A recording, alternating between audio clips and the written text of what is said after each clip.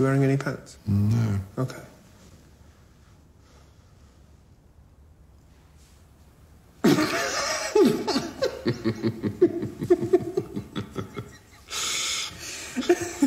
Buckingham Palace. Right.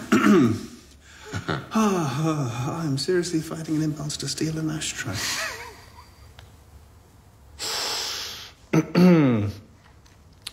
what are we doing here?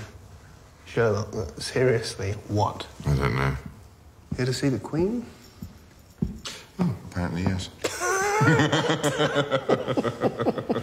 Just once, can you two behave like grown-ups? We solve crimes, I blog about it, and he forgets his pants. I wouldn't hold out too much hope. I was in the middle of a case, Mycroft.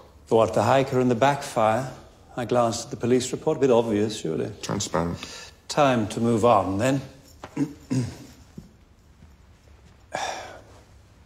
we are in Buckingham Palace, the very heart of the British nation.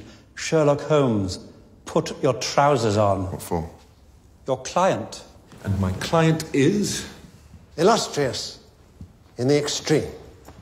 And remaining, I have to inform you, entirely anonymous. Mycroft. Harry, may I just apologize to the state for my little brother? Full time occupation, I imagine. And this must be Dr. John Watson, formerly of the 5th Northumberland Fusiliers. Hello, yes.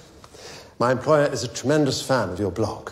Your employer? Particularly enjoyed the one about the aluminium crutch. Kim.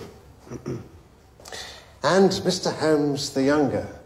You look taller in your photographs. Take the precaution of a good coat and a short friend. Mycroft, I don't do anonymous clients. I'm used to mystery at one end of my cases. Both ends is too much work. Good morning. This is a matter of national importance. Grow up. Get off my sheet. Or what? Oh, I'll just walk away. I'll let you. Boys, please, not here. Who is my client? Take a look at where you're standing and make a deduction. You are to be engaged by the highest in the land. Now, for God's sake, put your clothes on.